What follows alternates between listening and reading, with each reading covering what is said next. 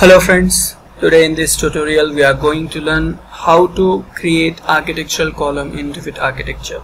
Okay, so for that what we have to do first we have to look after in our project browser on the right side. Okay, so in that we have two floor plans, ground floor plan and the first floor plan. Okay, so for uh, making my columns I will be in my ground floor plan. Okay, now on the ground floor plan I have some grid lines, I have some walls assigned here okay now in these walls I have to assign or create our architectural column. So in order to create that first we have to go in the ribbon.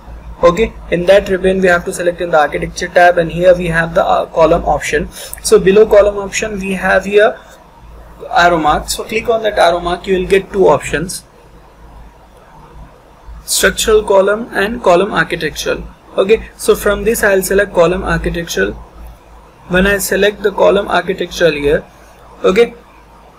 So uh, in the uh, properties palette you can see here we have got some default loaded architectural column round column of 24 inch diameter okay. Now I'll click on the type selections and I'll show you how many tabs we have here. We have here two types rectangular column and round column. Rectangular column we have three sizes. Round column we have three sizes. Okay so first I'll select rectangular column of 18 inch by 24 inch size. Okay and I will come here. So for assigning column you must uh, you should be so a little bit zoom in.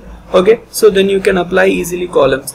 Now this is the 2d view of a column.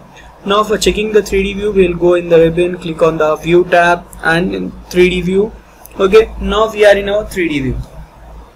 So you can see here column from top view. Now I will rotate our 3d cube. So in the left side you can see your column.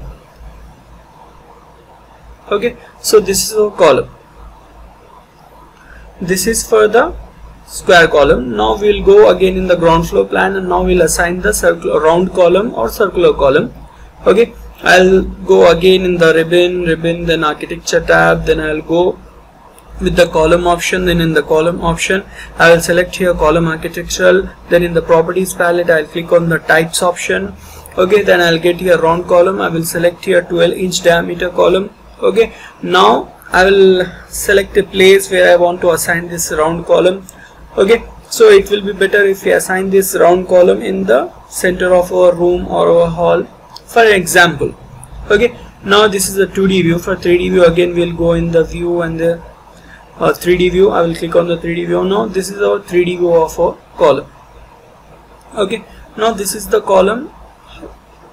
Now you know how we have to assign the circular column and rectangular column. But if you want to edit the properties of these columns like means you want to edit the length breadth or you want to edit the height then click on the column go into the properties tab. Now you can change the size from here also. Select 24 inch by 24 inch size and now our column has been changed. If you see here our column from 12 inch to 12 inch by 24 inch now it has been changed to 24 inch by 24 inch.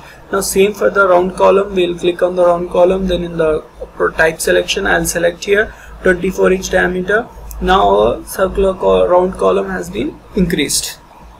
Okay.